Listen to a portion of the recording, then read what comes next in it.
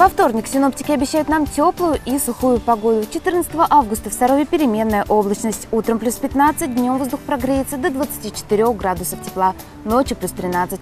Ветер западный до 4 метров в секунду. Атмосферное давление 745 миллиметров ртутного столба.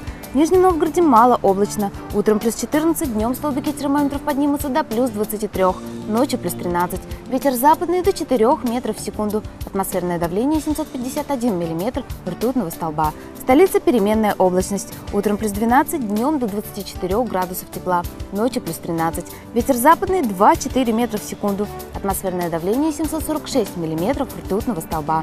И помните, какой бы ни была погода, она всегда по-своему прекрасна.